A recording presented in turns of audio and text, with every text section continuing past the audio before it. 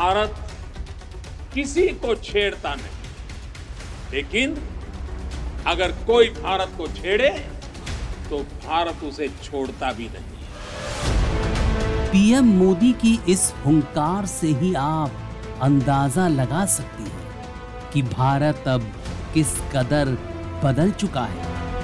हमारी जल सेना की शान आईएनएस अरिहंत की हरकत से भी अंदाज़ा लगा सकते हैं।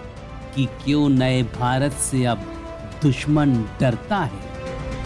भारत की पहली परमाणु पनडुब्बी आईएनएस अरिहंत, अब दुश्मन के दांत खट्टे करने को तैयार है, क्योंकि इसने अपनी पहली गश्त पूरी कर एक इतिहास भी रच दिया है और देश को दीपावली का तोहफा भी दिया है। आप लोगों ने देश को इस दिवाली पर अरिहंत के सफल अभियान के रूप में एक ऐसा अनूठा अनुपम उपहार दिया है जो भारत के इतिहास में बेमिसाल है। अरिहंत पूरी तरह से भारत में ही विकसित और निर्मित पनडुब्बी है। इसका संचालन भी भारत खुद ही कर रहा है। ये एटमी हथियारों से लैस है। और समुद्र के किसी भी कोने से हमला कर सकती है। इसको ढूंढ पाना दुश्मन के लिए बिल्कुल भी आसान नहीं है।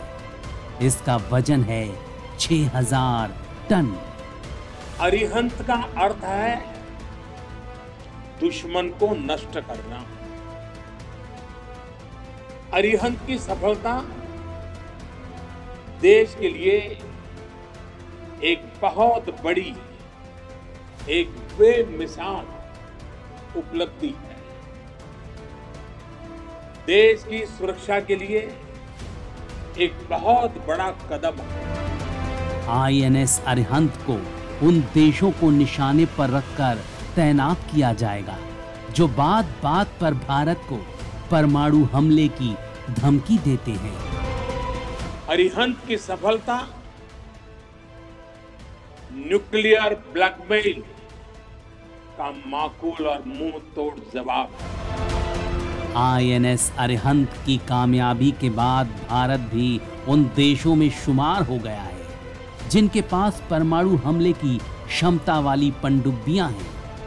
अमेरिका और रूस के बाद भारत ही ऐसा कारनामा करने वाला एकमात्र देश है।